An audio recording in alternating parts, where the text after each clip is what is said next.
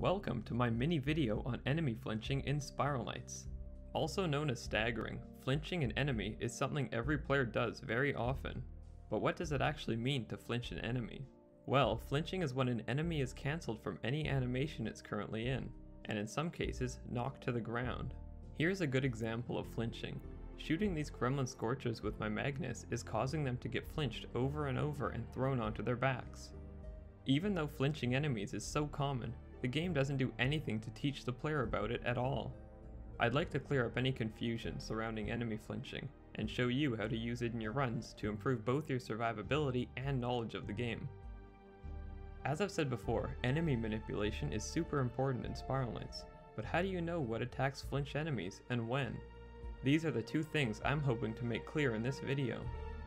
Even though flinching is just one mechanic on its own, there are two entirely different ways to flinch enemies the first one being the player-induced flinch, and the other one being the enemy-induced flinch.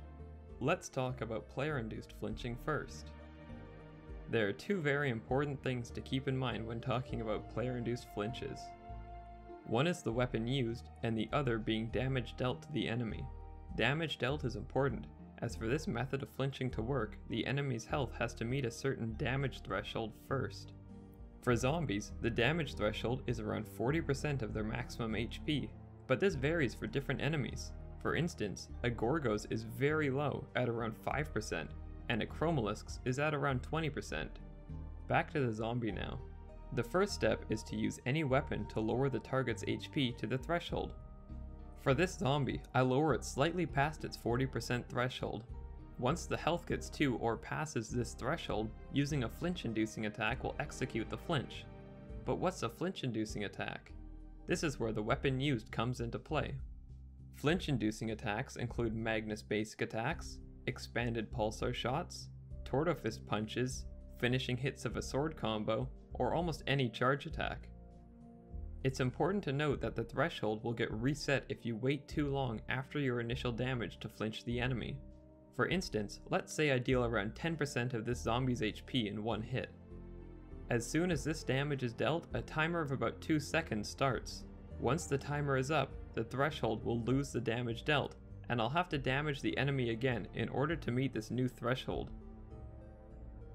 If the threshold is low enough, a second weapon isn't even needed, in the case of these Devilite's low thresholds, I'm able to use only my Magnus to continuously meet the next threshold with every basic attack. This lets me easily chain the flinches and keep the Devlight in place. If you would like to know each enemy's specific flinch threshold, I'll have a link in the description to a spreadsheet detailing every monster's rough flinch thresholds. Keep in mind these numbers aren't exact, but just approximate. The second type of flinching is enemy-induced flinching, Enemy-induced flinches depend on an enemy performing a certain action instead of your own damage. As an example, a zombie can be flinched by any weapon during its breath or biting attacks.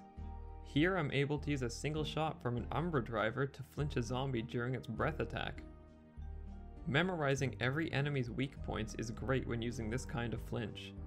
A couple more well-known examples are how Scuttlebots can be flinched during their attacks, how Greavers can be flinched during their dive attacks, how Devilites can be flinched during their throwing attacks, or even how Mecha Knights and Phantoms can be flinched during their combo attacks. All of these attacks are very deadly, and knowing when to interrupt an enemy can almost always save your life. Making sure that you're aware of each of these vulnerable points in enemies' behaviors greatly increases your chances at survival in every mission you run. If you want a complete list of flinchable attacks, the spreadsheet in the description details them as well. I hope this short little video taught you something new about Spiral Knights. If you're having trouble with flinching, have any questions in general, or think I missed something, please let me know. If you have a suggestion on another mechanic that you'd like to see covered in its own video, I'd love to hear it. Thanks for watching.